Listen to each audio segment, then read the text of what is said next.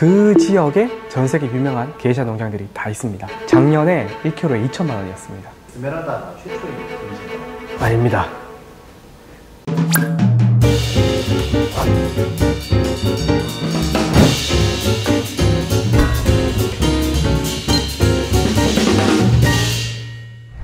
안녕하세요. 커피포스트의 이치훈입니다. 저는 커피를 굉장히 사랑하는 한 사람이죠. 오늘은 게이샤 커피, 전 세계에 화제가 되는 이 게이샤 커피가 무엇인지에 대해서 알아보는 시간을 가져볼까 합니다. 이 게이샤는 오렌지도 종류가 많잖아요. 천혜향이냐, 레드향이냐 이런 거에 따라서 맛이 조금 달라지고 향이 달라지는데 게이샤라는 것도 커피 나무의 종류예요. 품종이라고 볼 수가 있고 게이샤를 일본의 게이샤로 착각하시는 분도 있는데 이 게이샤라는 말의 어원은 에티오피아의 마을 이름입니다. 커피의 모든 품종은 에티오피아에서 기원이 되었는데 그렇게 생각해보면 에티오피아 숲속 안에 게이샤 같은 품종이 또 더 있지 않을까. 아직까지 이렇게 화제가 되는 게이샤에 더해서 우리가 즐길 거리가 더 많지 않을까. 뭐 이런 생각도 한번 해봅니다 쉬우면서도 어려운 문제인데 가장 중요한 것은 일단 맛이 달라요 더 맛있다라고 표현하기는 어려운데 제대로 된 게이샤를 적절하게 추출을 하게 되면 누구나 그 맛의 다름을 인지를 하게 됩니다. 전문가일 필요가 없어요. 그냥 지나가던 어떤 사람을 데려다가 일반적인 커피와 게이샤를 맛보여주면 다름이 느껴집니다. 자스민 같다거나 굉장히 군침 도는 오렌지 주스 같은 느낌. 그런 특징을 가지고 있는 커피입니다. 잘 생각해보면 이제까지 유명하고 비쌌던 커피들이 스토리는 좋지만 맛이 분명하지 않았거든요. 예를 들자면 블루마운틴, 뭐 하와이안 코나 이런 커피들이 있는데 정말 스토리는 좋지만 마셔봤을 때 누구나 다름을 인지하지 못했습니다. 근데 게이샤는 좀 다르다. 두 번째 이유는 호불호가 덜 갈립니다. 예를 들자면 커피 업계에서 유명한 커피 중에서 파카마라라는 커피가 있어요. 근데 이런 커피는 어, 때로는 향신료 같은 향이 날 수가 있고 굉장히 농축된 뭐 신맛이 날 수도 있고 강력하거든요. 근데 이런 커피들은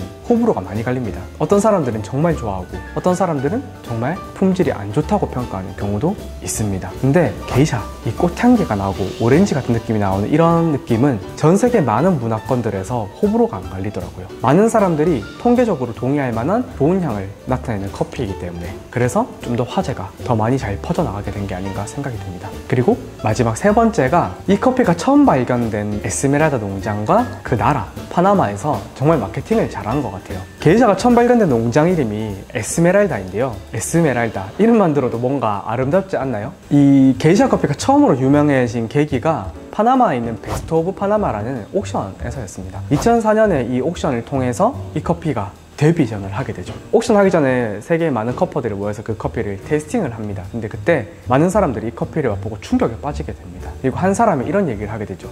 컵 안에서 신의 얼굴을 보았다. 이 말이 어떻게 보면 큰 도화선이 되었다고 봅니다. 도대체 어떤 맛이 나는 어떤 커피길래 신의 얼굴을 보았다고 할까? 그 모든 것들이 삼박자가 잘 갖춰져서 게이샤라는 커피가 전 세계에 이제 퍼지게 된 것입니다. 그게 전설의 시작이었죠. 그리고 파나마 사람들이 또 굉장히 잘한 것 중에서 하나가 어차피 이 씨앗이라는 게 저절로 퍼지긴 퍼질 거거든요. 안으로 다 자기들만 독점할 수는 없었을 겁니다. 근데 몇몇 유명한 농장들, 잘하는 곳들에 그들의 게이샤 씨앗을 잘 나눔을 함으로 인해서 이 게이샤라는 품종이 더 세계에 많이 퍼지게 된 것이죠.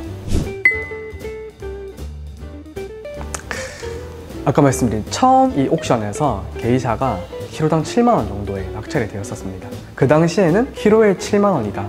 1kg면은 한 40잔 정도의 커피가 나오거든요. 한 잔으로 보면은 그 당시에는 만원에 가까운 커피였던 것 같아요. 그 정도 가격에 이제 첫 커피가 탄생하게 되고 그때 커피인들이 어떤 얘기를 했냐면 아 너무 비싸다.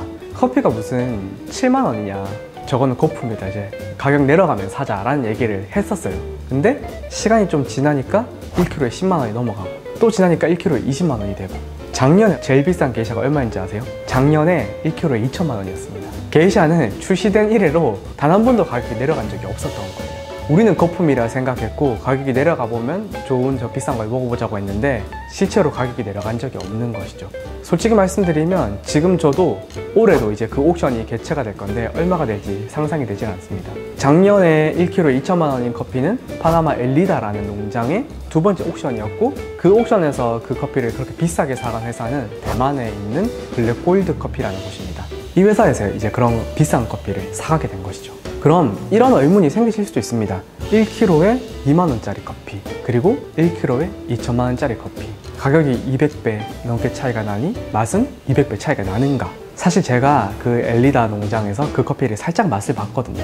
올해 갔다 왔기 때문에 맛을 봤는데 분명히 좋긴 좋아요. 근데 커피 맛이 200배 맛있다가 가능할까요? 사실 그럴 수는 없습니다. 이제는 커피 가격이 약간 미술품 같이 돼버린 거예요. 어떤 상징이 되기도 하고 세계에서 가장 비싼 커피라는 상징성 그런 게 생기기도 하고 옥션이다 보니까 그 옥션에서 낙찰받은 사람들이 영원히 그 옥션 결과에 남아있거든요. 그러다 보니까 생두회사들에서 마케팅용으로도 씁니다. 대만에 있는 블랙골드 커피라는 곳 제가 알 수가 있었을까요? 그 사람들이 아무리 노력을 하고 마케팅을 해도 저는 몰랐을 거예요. 근데 그 옥션에서 세계에서 가장 비싼 커피를 구매함으로 인해서 전 세계의 많은 커피인들이 저 회사는 정말 비싸고 좋은 커피를 사는 곳이다 라는 마케팅을 하게 된 거예요. 2천만 원 정도의 전 세계 정말 중요한 타겟들에 홍보를 할 수 있다면 쌀 수도 있다고 생각을 합니다.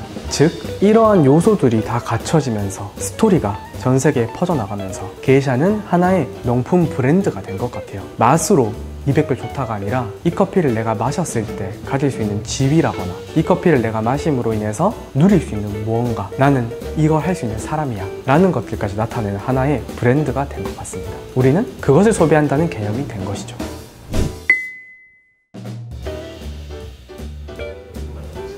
사실 저도 몰랐어요. 게이샤가 전 세계에서 유행인 줄 알았습니다. 저도. 물론 게이샤는 전 세계에 알려져 있어요. 미국에도 있고 호주에도 있고 다양한 나라에 있지만 유독 비싼 게이샤일수록 중국, 일본, 한국 이 아시아권에서 많이 소비가 된다는 것이죠. 이 사실을 깨닫게 된 때가 올해 파나마에 갔을 때였습니다. 파나마에서 에스메랄다 농장주인 레이첼과 인터뷰를 하다가 그 레이첼이 이런 얘기를 하더라고요. 아시아 사람들이 많이 온다. 파나마에 오는 90%의 사람은 아시아권에서 방문을 한다. 실제로 옥션 결과를 봐도 미국, 호주, 유럽 국가의 커피 회사들이 많지는 않습니다. 거의 대만, 중국, 한국, 일본에서 많이 구매를 해가거든요. 몇 가지 이유가 있어요. 제가 그게 궁금해서 올해 대만도 갔다 왔었는데 아시아 사람들은 비싼 커피에 대한 거부감이 좀 적습니다. 그 이유는 티 문화 때문인 것 같아요. 솔직히 커피 가격은 차 문화의 가격에 비하면 아직 세 발의 피입니다. 정말 비싼 차들이 많더라고요. 근데 그런 것들을 소비하는 문화가 이미 있다 보니까 커피가 비싸져도 사람들이 좀 이해를 하는 거예요. 그게 이 아시아권에 좀 맞아 들어가고 정말 재밌게도 이 게이샤의 맛도 티 같아요. 자스민 향이라는 게 나오고 좀 더 좋다면은 산미나 이런 주스 같은 느낌이 나오다 보니까 또 거부감이 적은 거죠. 이런 이유가 하나가 있을 수가 있고요. 두 번째 하나 더 생각해 보자면 아시아에 있는 국가 로스터들이 중남미 가는 거 쉽지가 않습니다. 저도 다녀봤지만 제가 올해 대만 다녀오는 데는 비행기도 20만 원 정도? 그리고 오고 가고 하는데 뭐 2시간 이렇게밖에 안 걸리는데 파나마에 가려면 2, 300만 원은 그냥 들어가고 가는 데만도 2, 30시간이 걸립니다. 근데 그게 생각보다 체감상 크게 다가와요. 1년에 많이 가봐야 두 번 갈 수 있습니다. 근데 미국인들은 훨씬 쉽게 갈 수가 있다는 것이죠. 그래서 그 사람들은 옥션을 통해서 구매하지 않아도 그냥 관계를 통해서 구매할 수 있는 기회가 더 많다는 것이죠. 근데 아시아에 있는 사람들은 이제 얼굴도 본 적 없는 그 농부들과 쉽게 거래를 할 수가 있을까요? 그러다 보니까 옥션의 힘을 빌려서 그런 커피들을 구매를 하게 되고 그러다 보니 커피 가격이 더 비싸지는 경향도 있는 것 같습니다. 음, 게이샤의 오리지널은 파나마로 많이 생각이 되고 있죠. 파나마는 원래 그렇게까지 유명한 커피 산지는 아니었어요. 파나마라고 하지만 게이샤가 자라는 지역은 굉장히 국한되어 있습니다. 그 보케테라는 마을 같은 곳이죠. 그렇게 크진 않아요. 근데 그 지역에 전 세계 유명한 게이샤 농장들이 다 있습니다. 그래서 그런 얘기도 하더라고요. 유명한 농장주들의 이제 아들과 딸들이 같은 학교에 다니기도 하고 그 옆 농장에서 이제 누구 유명한 사람이 왔다고 하면은 다른 농장들에서 질투하기도 하고 그 정도로 보케테라는 그 작은 지역에서 신의 커피라 불리는 이 게이샤들이 대부분이 다 있습니다. 근데 거기서 우연찮게 이 게이샤 씨앗이 심어지고 사람들이 맛을 보게 되면서 유명해진 겁니다. 이 커피가 유명해지면서 이제 파나마에서 다른 나라로 많이 이동을 하게 된 거죠. 이제는 모든 나라에서 다 볼 수가 있긴 한데 특별히 온두라스, 코스타리카, 과테말라, 콜롬비아, 대만까지 지금 대만 게이샤가 미쳤습니다. 거기다가 이제 에티오피아에서도 게이샤를 볼 수가 있게 되었죠. 그래서 지금은 오히려 주요 산지는 게이샤가 다 있다 생각하시면 될 것 같습니다.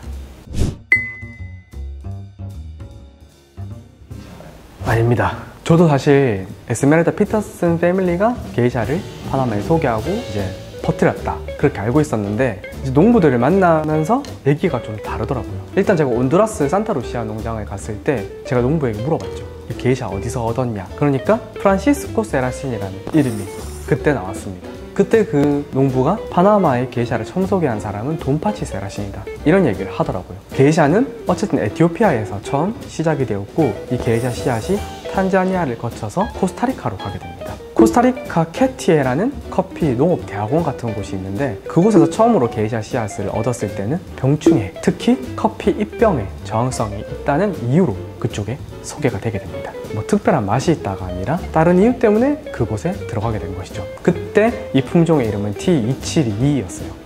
하필 파나마에서 커피병 때문에 정말 많은 나무들이 죽게 되었었습니다. 그때 이 돈파치 세라신이라는 사람이 T712라는 품종을 파나마로 가져가게 된 것이죠. 그때 주변 동료들에게 굉장히 조롱을 많이 당했다고 합니다. 맛이 이상했거든요. 커피 맛이 아니라 이상한 맛이 나고 커피병에 저항이 있다고 하지만 그게 확실한지도 모르는 그런 품종을 왜 파나마에 가져가려 하느냐. 그렇게 얘기를 들으면서 심다 보니 파나마 게이샤가 에스메랄다를 통해서 유명해지고 난 뒤에 게이샤는 이미 보케테라는 지역에는 굉장히 흔한 나무가 되었던 것입니다. 그 사람의 어떤 이런 여정이 있었던 것이죠. 돈파치 세라시는 캐티를 위해서 일하는 연구원 중에서 한 명이었기 때문입니다. 근데 사실 전 세계 많은 사람이 돈파치 세라시는 모릅니다.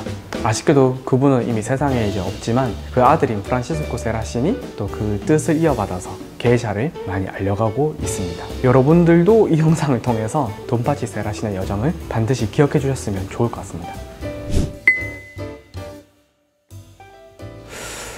아 솔직히 요즘 정말 게이샤가 다양해졌거든요 근데 처음에 드실 때는 차라리 돈을 좀 쓰셔서 제대로 된 게이샤를 한번 경험해 보시는 것을 추천드립니다. 왜냐하면 커피 품종이라는 게 어쩔 수 없이 약간 불분명합니다. 전 세계 많은 게이샤 그리고 합리적인 게이샤가 생겼지만 한 번씩 저희가 이제 받아서 보면 이 모양이 달라요. 게이샤라고 하는 품종은 좀 길쭉하고 되게 우아한 모양인데 때때로 어떤 농부들이 준 게이샤는 여러 가지 모양이 섞여 있단 말이죠 그래서 농부들에게 물어봐요. 이 게이샤는 그럼 어디서 너희가 받은 것이냐? 가장 많이 들은 대답 중에서 하나가 이제 친구에게 받았다. 이 얘기를 많이 듣습니다. 그러다 보면 출처가 사실 좀 불분명하다는 사실이죠. 그래서 여러분들이 처음 드실 때는 출처가 조금 분명한 게이샤를 드시는 것이 좋다는 생각을 하고요. 커피의 가공 방식 중에서 조금 더 품종을 잘 드러내는 가공이 washed라는 가공이 있습니다. 그 가공 방식으로 된 커피를 드셨으면 좋겠습니다.